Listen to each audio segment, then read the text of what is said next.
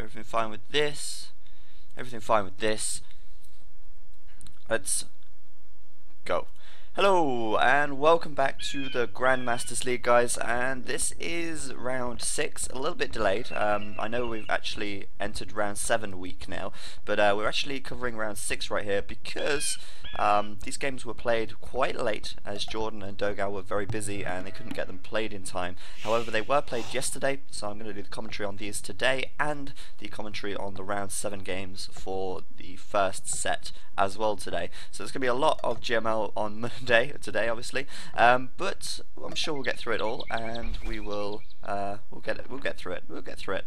So uh, what have we actually got? Well, we've got Jordan 23 versus Dogao. Jordan playing in blue over to the right as Vikings, and his opponent RVK Dogao playing over to the left as Vikings as well in red. And I actually thought game one was Nomad. Obviously, I'm wrong. This is Islands. Um, just just prove that it is Islands. Yes, it is Islands. And um, I thought first game would be Nomad, but the next game is obviously going to be Nomad. This is the home map choice of Dogao, and um, maybe he's feeling confident on the water against Jordan, uh, but Jordan is by no means going to be an easy opponent for him to face, as, well, Jordan is really, really on top of his game at the moment. Um, you've seen he plays a lot with the Viper. He's been playing pretty well so far in the tournament, but uh, I don't think Jordan's actually got many wins so far this tournament, so uh, maybe Dogao feeling like like, yeah, you know, I can win this uh, this 1v1 in um, in Islands. So we'll see how it goes for both of them. Gonna speed things up just a little bit while things get underway. And excuse me while I just oh okay my uh, I thought my game sound was higher than usual, but it's not.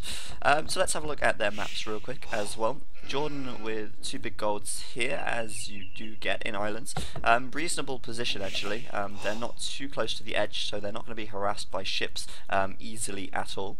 And we have for Dogal two golds at the back, which are fairly close to the water, so he's going to want to be a little bit careful perhaps with these because he will not want to get them harassed by galleys. That could be pretty bad, and really um, you need plenty of gold in these kind of maps because of course grushing is on the cards, and that is what we'll probably see from both of them. And I've seen some players not bother going for Loom, and I'm going to be curious to know if Dogal actually goes for Loom here, or if Jordan goes for Loom, because I think it was in the Ming versus Tim games, I think it was Tim or Ming, uh, one of them didn't get Loom at all, and that extra 50 gold that they saved allowed them to get a much better Grush on the way, and if you consider the fact that, ah, you're actually on an island, uh, your opponent can't attack your villagers very easily at all, it might actually make quite a lot more sense to actually not get Loom until maybe you know late stages of the game in case you get landed or something.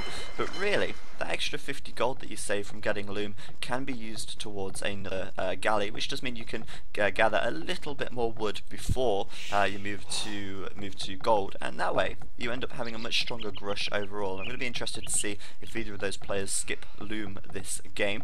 Uh, skip Loom, that's a Pokemon. um, a little bit of an un unfair map though, I've got to say. This uh, gold island here, because of course in islands you've got the two large islands that the players start on, and then you have two smaller islands, one with stone and one with gold. The gold island, of course, is on Dogao's side of the map, and that is a little unfair. Um, I think there is a fixed version of islands, actually, that will come with the Forgotten Empires, where the two islands with the extra resources on are always between the uh, two players. So it's kind of annoying that the uh, gold is at the back here. That's a real big advantage to Dogao if it gets to the late game and he needs to take extra gold from here. And the stone, of course, on the front, which, uh, well, there's only two piles of stone there, so it's not really a big deal to take that. Um, but, of course, there's no saying that the game will get to the late stage, but of course, if it does, we've got to bear that in mind and uh, everything else pretty standard really. Um, Deer not too far out from Dogao there, he'll probably try and lure those in with his scout cavalry. I can only see three, maybe he's already lured one, I may have missed that. And Jordan already taking Deer back here, but not using his scout to lure them in. He's just going to finish exploring his island first. And we might see, we might see the players start building houses around their island to keep an eye out for a landing, because, of course, in islands, Um, the, the islands are pretty big, and you can always uh, sneak a villager onto your opponent's land if uh, if you if you want to I guess. Uh, if you really wanted to you could build an extra dock down here. It would be quite risky. Um, hide it out of the way and try and land your opponent. So it's quite important to gain visibility all around the uh, the parameter or perimeter of your island so that uh, you don't get any sneak villagers getting onto your island and causing trouble. Um, we'll probably see four or five fishing ships from both of them um, I think we'll probably see four before Dogao goes up. He's almost up to um, up to four 500 food even. He's going to click up right now on 26 population and there's the fourth fishing ship coming out right now as well. Pretty much textbook play um, for islands, sending all of his villagers over to Wood right now, adding in an extra fishing ship going up to 5 and then mainly just taking lots of wood and then starting to move on to a little bit of gold and doing a huge grush uh, to be expected really. Dogao of course not getting loom just yet, he's not spent that 50 gold, he's not got loom and uh, I suppose that makes a lot of sense. Jordan, he too not getting loom and uh, that is going to help them both out a little bit when it gets up to um, when they get up to the feudal age and they start their grush and that is something that I have actually never really done. I've always got loom even if it's on an island map. And uh, next time I play Islands, I'm actually going to try and not doing Loom first. Uh, as long as you can keep your TC from being idle by getting enough food in at the early stages, you should be okay. And um, that might help out with the bigger, better Grush. So I'm certainly going to try that one out next time, um, as it does seem like a very common sense sort of strategy to do. Save yourself that extra 50 gold, um, and then, yeah, everything's a lot better. Uh, Dogao sending four villagers over to gold right now, and Jordan sending three. So uh, Dogao is going to have a little bit more gold income right here, and I think they're both up to the feudal age at pretty much identical times. Dogao slightly further ahead. He lured his second boar in a little bit sooner, I think, or um, I think he may have took deer a bit earlier. Nope, he hasn't taken deer, so big interesting really. Dogao managing to get up to the feudal age a fraction of a second ahead of Jordan, but that's okay. It's not so much of a big deal. Both of them, of course, docking up to the north of their island, and that is going to mean that they are fairly close together, and we will probably see um, some rushing coming in straight away from the top. And uh, yeah of course we'll see galleys coming out. As soon as Dogao can afford it he's not actually got that much wood just yet. He's getting double bit axe before he gets his first galley out. And uh, I guess that makes sense because he is into the feudal age first. So he knows that uh, Jordan's not going to be producing any galleys just yet. And Jordan too going up to the feudal age right now just adding in an extra fishing ship as well. Um, gonna go up to six and I know that's just one extra fishing ship than uh, than dog is going to have. But that might help him out actually getting up to the castle age a little bit faster, or at least continuing his um, Oh no, he's cancelled it. I thought he was actually going to go and make that final fishing ship, and that would have delayed his grush, but it would have given him a huge economic advantage. But uh, well, not huge, but it would have given him quite a decent economic advantage. But obviously, knowing now that he's up to the feudal age uh, in second, he will be able to just react to that by making galleys straight away instead of finishing that last fishing ship. Could have just been a misclick for all I know. Uh, but there we go, two galleys about to come out for Dogash straight away. 99%, uh, 68%, and he's going to send them straight over try and pick off some fishing ships if he can, because of course fishing ships really are important to take out. So far though, Jordan looks like he's getting a little bit further ahead with his dock production. He's already got his two galleys out, which is actually uh, not too far behind Dogao here at all.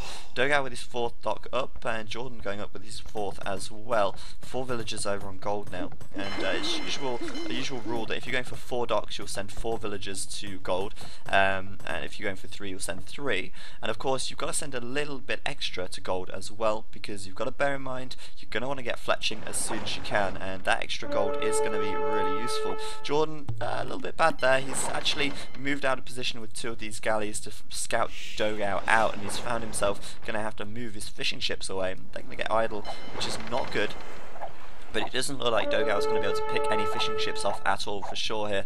And uh, Jordan actually uh, quite low HP on these fishes, uh, sorry, on these galleys. He's going to have to micro this quite nicely in order to gain a little bit of an advantage here, because he has lost quite a lot of HP on this galley.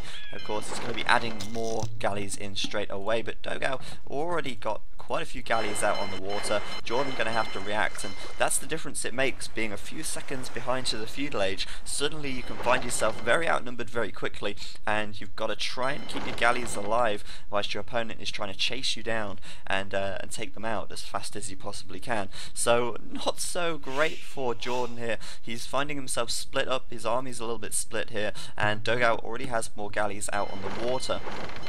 Now the question is, is he going to go for a faster castle time now he's got a little advantage on the water, or is he just going to keep making galleys and try and um, try and take the water fully before he goes up to the castle age. I'm not quite sure. Uh, Jordan managing to get his army together here and he should now be able to send Dogao back a little bit but still no galleys have been lost just yet. Both of them keeping all of their galleys alive and together. Dogao looks like he's going to fall back a little bit, regroup his army and then go straight back and attack Jordan. Of course at the moment they're both on four docks in total and really their economy is exactly the same. Dogao likely to get an earlier plus one here as he does have five villagers over on gold right now. He's already got his um, his blacksmith up. Jordan's just moved a fifth over but he doesn't have his blacksmith yet.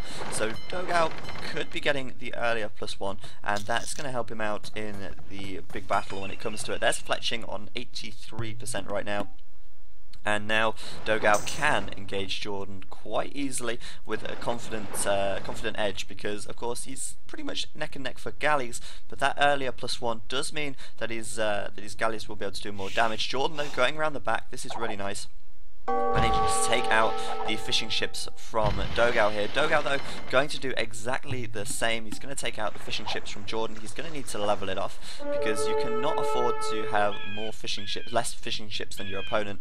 Um, it's always worth trying to take them out. But nice from Jordan here running away with his fishes, and he's actually made some more fishing ships as well, getting a little bit cheeky perhaps, thinking, you know what, I can make a few more fishing ships here, and if I can keep them safe, it'll pay off. Uh, Dogao going to tidy up here with a few, uh, these galleys going to go down, but it looks like he's going to be able to take out some of these fishes quite easily, um, he is going to get right in there, take them out as quickly as he can, try and level things out a little bit, and Jordan is chasing um, Dogao's fishing ships away. He really does not want him taking any fish right here. Of course, Dogao quite a large navy at the moment. I think they're both pretty much neck and neck. It's 17 ships a piece. Oh, no, it's not. 17 for Dogao, 14 for Jordan. I actually thought it'd be on equal numbers, but obviously not. And of course, Dogao now with that plus one. Uh, Jordan's going to be getting it on the way. I think, yeah, there we go. Fletching just being researched now. He just needed a little bit more food for it, but he's certainly a little bit further behind with the plus one there, and that is not so great. Um, it does mean that he is going to have to wait to engage, uh, but Dogao, of course, with the major most ships right here, so if he does go for a straight up uh, engagement, he should be able to take the water from Jordan here. They're just trying to skirt around and micro out micro each other at the moment because they really cannot um, afford to go head on into battle and accidentally lose all their ships. It's better to keep your ships safe, rein them in every now and then, and keep good control of them so you lose less ships than uh, less ships, uh, as few ships as you possibly can, even. See who's uh, going to go to the castle edge first. Right now, Dogao's starting to seed a few more farms. Of course, he's moved villagers over to berries. His economy is going pretty well. He's got plenty of villagers out already, so he can keep making galleys um, pretty easily. He should be able to afford to keep making galleys. He's actually got the fifth dock right now as well. Um, with six villagers gathering gold. Um, but Dogao at this stage should be able to reach Castle Age in a reasonable time. Jordan, slightly less food in the bank right now, and he's got less farms at the moment. I think he's probably got the same amount of berry collectors, but of course they both lost their water control, and that's not so good. Market going up for Dogao right now, and I could indicate that he's thinking about Castle a little bit sooner than Jordan might expect. And of course we've got to bear in mind now Jordan on four docks, and Dogao he's sitting on five and he's creating galleys from all five docks consistently. So uh, this is looking very nice for Dogao. He's certainly got more ships on the water. 22 for Jordan and Dogao on 24. It's only two extra ships, but if he can get his uh, navy together, then he might be able to push an advantage. It looks like, though, Jordan has got most of his navy in one position, and that's going to help him massively in taking out this fleet, but he's going to go past him. I think Jordan may have just accidentally uh, gone a little bit too far there, not really paying too much attention, and causing uh, himself to take big losses when in theory he should have actually been able to do a lot more damage than he did there. He, he lost a couple of ships, he should have been able to take out a couple of ships from Dogao, but a little bit of miss army miss army management there cost him a few ships and now Dogao has got the number advantage right here. Uh, actually he might need to bring these up in order to get the number advantage, but uh, as I said, still being very careful with their galleys, reining them in at every possibility to make sure they don't get taken out for no uh, no reason uh, they want to make good trades, trying to get hits, and a little split from Dogao there. Going to keep his galleys alive, and the more he can take out from Jordan, the better, really. A nice split again, causing Jordan's volleys to miss. And uh, again, good micro from Dogao. He's showed some great micro this tournament, and uh, it's always good to see him um, on top of his micromanagement, and he's on top of it today, I'm pretty sure of that. Looks like he's about to click up to Castle right now. He's finished up his berries, so he's going to want to get these villagers chopping wood again as soon as possible. He just needs another, um, there we go, he's got it. He can click up to castle right now. Jordan, on the other hand, so far from the castle age right now. He's only just seeding more farms. Uh, his berries are about to finish as well, which is really bad because once the berries are gone, uh, he's going to have to make more farms with these villagers, and that's going to slow his food count down quite significantly. So He's probably hoping right here that Dogao is not going to be going up to the feud age or uh, castle age already, but in truth he is. He's uh, already a quarter of the way up right now, and or almost a quarter of the way up. And uh, once he gets up to the castle age, he's going to be able to do some big damage to Jordan here because Jordan is going to be so far behind getting up to castle that uh, he's going to have to retreat with his galleys for so long. Um, as Dogao will have the war galleys and the Bodkin arrow upgrade done pretty much straight away. Both of them trying to micromanage out of each other's ways here, trying to just get some as many picks as they can without losing as many ships as possible. And uh, 26 ships on the water for Jordan right now. Dogao on 27. It's so, so close with the numbers. But Dogao going up to the castle age already. And this is where it's going to get hairy for Jordan, I think. Because Jordan's going to have to retreat with these, he can't engage war galleys head on, especially when they're uh, even for numbers. So he can't engage head on, what can he do? Um, well, the simple answer is he runs and he can only run for so long. If he runs all the way back to the corner or along here, then he's going to find himself losing his docks, as Dogao will probably just focus his docks down. There's no point in chasing for fleeing galleys, because they outrun you, and you simply won't catch them unless they just stop for some reason. But um, if Jordan does run away, which you likely will do, then Dogao can try and focus down these docks, and he can try and take the docks out and prevent Jordan from making any more galleys, and then when Jordan does get up to the castle age, he'll be severely disadvantaged these berries, these villagers even, quite idle for some time. If you look at how much micromanagement they're doing on the water, um, they're paying so much attention to this navy right here, and uh, it's not surprising really that these villagers have been neglected for a little bit. Um, I thought Jordan might just be a little bit more on top of his game than that though. Um, idle villagers for quite some time there, and that's going to cost him massively. That's uh, seven villagers that could be gathering for him, and they are not. Um, so that is a big problem. Now Dogao hitting the castle age just as Jordan is clicking up, and Jordan now probably going to try and flee with these ships because of course if we have a look at Dogao right here we will see War Galley on the way, we'll see Bodkin Arrow as soon as he can afford it. University going up as well so Ballistics will be on the way shortly also and where is it? Bowsaw upgrade should be on the way fairly soon as well, as soon as he can afford that. So now Dogao going to have to go try and do some big damage to Jordan where he can. Is he getting Bodkin Arrow yet? Nope, not just yet. He might be getting might be getting Bowsaw first. Uh, the wood upgrades is really important on uh, water maps, of course, as uh, they do really help you out in the long run. And now Jordan going to try and focus down this dock. He might be able to actually take it out before Dogao makes it back. But Dogao, of course, with Galley over here, going to focus down the docks from Jordan. And if he can take out this dock, uh, Jordan is going to take out his. But if he can take out all of Jordan's docks, then Jordan's going to be able to do absolutely nothing. Moving two villagers over to this corner, he might start to make some docks over here because he knows that his docks are under threat. And now Dogao going to head straight into this army here. He's not got plus two just yet. Uh, plus two is still not even on the way. Um, wondering where his upgrades are. He's slowed quite quite uh, slowed down quite dramatically here. Jordan losing a lot of army right there as well, which is certainly not good.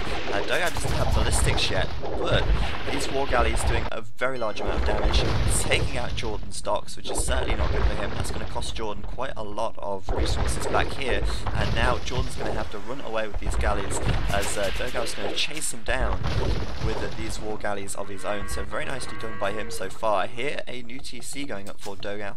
Going to make a new TC first, it seems. Uh, still no Bodkin Arrow or um, or Bowsaw, which is kind of interesting. You'd think he'd go for that straight away, but he's gone for the second TC first to give himself a bigger economic advantage, and he's still taking out these docks over from Jordan over here, and Jordan's going to find himself in a very bad situation now, as he's going to hit Castle Age.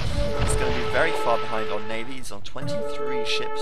Dogao, on the other hand, on 37 right now, and you've got to bear in mind as well, he's lost his docks also, which is going to be a real big problem for him as uh, of course it's going to cost him extra wood to rebuild and that's just going to slow him down even more as uh, he really does need that wood for a new TC he needs the wood for uh, making more boats and he needs the wood for upgrading his galleys of course uh, where is it being upgraded 41% right there and uh, it's going to complete because Dogao isn't focusing down the dock at the moment uh, he is chasing down Jordan's army though, and he has got much more numbers than Jordan has. He's probably completed Bowsaw right now. I think he probably just upgraded. Um, oh no, he's not. Dogao still hasn't upgraded Vodka I'm wondering where it is. I'm wondering where Bowsaw is as well. It looks like he's not going for the economic upgrades right now. Oh, there we go. Bowsaw being re researched right there. Really important to get that in quite fast as uh, it really does give a large or substantial um, make make a substantial difference to your income on wood. And of course wood on these maps so so important.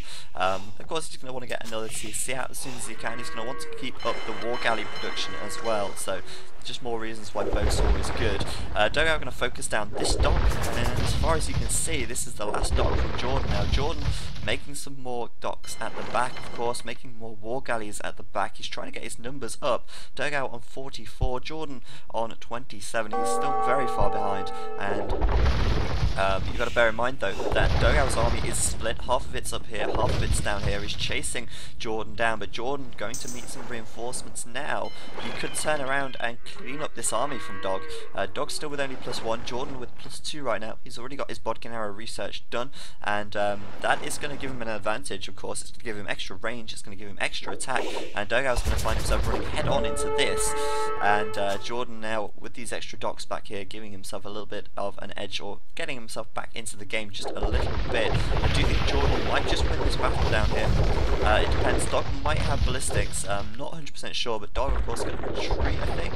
Um, thinks maybe he's got it. It's hard to tell because when um, when these units are patrolled, they do stack on top of each other very quickly and very easily, and it does make it quite hard to see. But Jordan getting in there, sinking a lot of ships from Dog, and Dog now going to have to retreat. He's certainly lost a lot of ships here, and that is not good at all. But Dog's coming around at the back. He's going to start taking out the docks again, and uh, it's certainly not looking so great for Jordan right now. Uh, who needs to replenish his lumber camps um, and who needs to start getting more villagers out and really working on his economy to try and catch up in that regard. We have a look at their population, Dog on 100 and Jordan on 77. So Dogao's economy much larger right now. He's uh, making plenty of farms. Um, he's still making a lot of galleys as well and he should have Bodkin Arrow at some point. He's still not got it. But right now he's at the back of Jordan's base taking out these uh, docks when he can, starting to stem the flow of war galleys if he can prevent the war galleys from coming out, that's going to be great. But of course, he's going to focus down these docks as well, and he's going to have to keep galley production up. He can't get um, he can't get too laid back on the water. He doesn't want to just uh, stop creating war galleys because he thinks, actually, you know, I've got the water here. Uh, because your opponent could be still creating war galleys and then suddenly they outnumber you and, uh-oh, it's not good. But uh, looks like Dogao going to have to retreat at the top here as uh, Jordan's going to come in with his main force. Of course, Dogao's going to be chasing him down as well. But his navy is very split up, very spread out, and all of uh, Jordan's navy is focused in one place. So he could actually um, clean this up fairly easily. Dogao still does not have Bodkin Arrow. I think he's forgetting this. Um, for quite some time. I don't know why he's forgotten it, but uh, he has. And there we go, that dock's just going to go down, I think, right now, and Jordan finding himself in a very bad position with only three docks at the moment. Dogao still producing from all four or five, uh, I can't count. I swear he had four docks. Oh, he did have five docks. He lost one. But uh, Dogao from four docks. He's not bothered making a new one. He's still got the advantage on the water, and his economy is going pretty well as well. Lots of farms coming out because he's probably thinking about the Imperial Age already. If we have a look at his food and gold count right now, he's almost up to a thousand food. He's almost up to 800 gold. He can be Imperial very shortly, and he's not even making a third TC just yet. He might just go a very fast Imperial time and try and work on getting a uh, a very strong navy up as fast as he can. Jordan trying to add more docks in, of course, when he can as well. And uh, docks still without Bodkin Arrow. I'm just wondering why, but uh, never mind. Uh, Jordan, of course, if we have a look at his resources, his economy is much further behind at this stage of the game. Um, Dogao a big score lead, and it's certainly looking like it's going to start favouring Dogao here. Of course, he has split his army up, which does make it a much more vulnerable. But if he keeps running away and keeps escaping from Jordan here, to use uh, this split to his advantage as he's coming up right now. He's going to start taking out these docks again, and Jordan without docks, he cannot do anything to take the water control but I do think he is starting to catch up in numbers now. He's got 20, sorry, 34 on the water. Uh, Dogao, of course, with 52. He's still in the lead, but uh, Jordan might just start catching him up. He starts taking out some of this over here, but of course we have got Dogao on this side as well, sinking any ships that come out of these docks. Going to start taking out those docks again, and it's just a little bit frustrating, I think, now for Jordan, as he's constantly having to deal with the, uh, the ships as soon as they come over to take out these docks. Dogao still without Bodkin Arrow, but he is up to the Imperial Age right now, and that does mean he's going to have Galleon out on the water very shortly, and that is going to mean that he is going to take a huge advantage. Not only does he have the number lead, he will have the tech lead as well. Perhaps when he reaches Imperial Age, he'll go to the blacksmith and realise that he's not got Bodkin Arrow. Um, I don't know how you could overlook it for so long, but he has. Uh, that's no real big deal. Um, he's got the numbers. He's kind of avoiding Jordan anyway. He's just running away for as long as he can. And uh, Jordan might be thinking about Imperial pretty soon too, but right now he's population capped. And he's certainly slowed down by the fact that he's had to build extra docks consistently. And he's added in a third TC here as well, which is going to slow him down into the Imperial Age just a little bit, but he is starting to add a lot more docks right here at the back. He's got another five docks going up. He's continually replacing them, but as soon as he replaces them, Dogao seems to take them out. And uh, now Dogao, of course, going to be forced to react over here as Jordan's trying to focus down these docks from him. And uh, Dogao is going to have to find himself building some more docks, I think. Um, Maybe he'll want to reduce the amount of villagers he's got on food here. Uh, he's got a lot of farmers, and perhaps he will need a little bit more wood. His wood count is getting quite low, and he just have a lot of farms, so maybe he'll be considering doing that soon. Um, but of course, he will need that food as well. He will need to get uh, the galleon upgrade, he will need to get the economic upgrades, he will need bracer, and he will need uh, bodkin arrow as well. So that's all something to bear in mind. He'll need chemistry. It all costs a lot of food, so I mean the food is really important as well, but of course he needs wood also in order to keep creating war galleys. It's so important that he does not stop creating the war galleys for as long as he possibly can. Cleaning up the docks again from Jordan, moving around the back, and he's seen, that Jordan's rebuilt. I'll focus these docks down and take these ones out as well. And now Dogao just going to want to keep his army alive while he reaches the Imperial Age. And I think there's going to be a very big gap now because uh, Dogao's going to reach Imperial, and I don't think Jordan's going to click up as soon as Dogao reaches Imperial. Uh, Jordan's certainly thinking about it. He's getting a bit more food. He's got uh, quite a bit of gold as well. But Dogao definitely going to be up to the Imperial Age in a very nice time here. And I think now he's probably going to realise, there we go, Bodkin Arrow. He, uh, he, he went to get Bracer, realised, ah, I've not got Bodkin Arrow. But he is going straight away for Chemistry. Um, he will be going for Bowsaw fairly soon, I think. Um, and of course we see Galleon being researched at the dock as well. There it is, 33%. And I do like how uh, War Galley, Galleon, they are very fast upgrades. They do complete pretty quickly. And uh, there will be uh, Galleons on the water for Dogao in a matter of seconds. Jordan just clicked up to the Imperial Age as well. And he's still slightly further behind as Dog starts to continue taking out his, uh, oh sorry, Dog continues taking out his docks at the back. Of course, we are going to see Galleon from him very shortly. He's got plus two. He's probably now going to be getting Bracer. Um, oh, there we go, bracer from him, and he's spent that food quite quickly, as you can see. Uh, that food does get spent very quickly as he gets the economic upgrades, and of course upgrades his military as best he can. Galleon being done right there, um, so we've got Galleons right at the back of Jordan's base. They're going to be focusing down these docks, of course. Bracer will be done, Chemistry will be done, they're going to be on plus 4, and uh, these docks are not likely to, well this dock is not likely to go up, and these docks are not likely to stand for much longer. Jordan still building docks all around his um, his base uh, or his island. He's consistently doing it, and every every moment this game passes, it looks like is getting further and further into the lead now.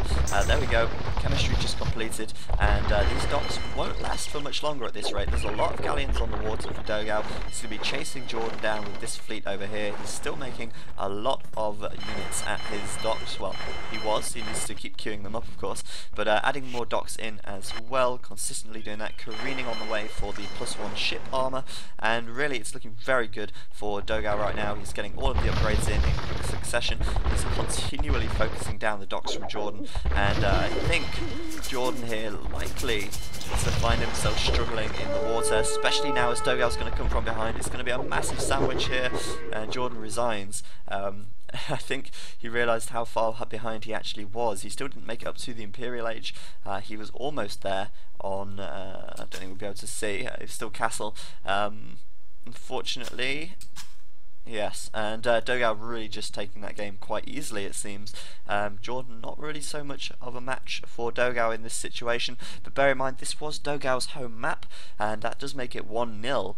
Um, so we'll see what happens in the next map because the next map will be Nomad, and that will be that is the map chosen by Jordan. Um, so maybe Jordan might be able to do a bit of a better job on his home map. We'll have to wait and see for that one. But uh, again, very well played by Dogao, uh, taking that game fairly easily it seemed, and getting the tech advantage as quickly as he could. And he had the numbers advantage as well the entire game. So he played that very well indeed, and uh, it's never a good sign when your opponent uh, has to continually rebuild their docks uh, because it costs so much wood to do that, and it just really delays you quite heavily. Surprised Jordan didn't replenish his lumber camp as well, actually. But uh, yeah, stay tuned, guys. There'll be game two coming up uh, right after this.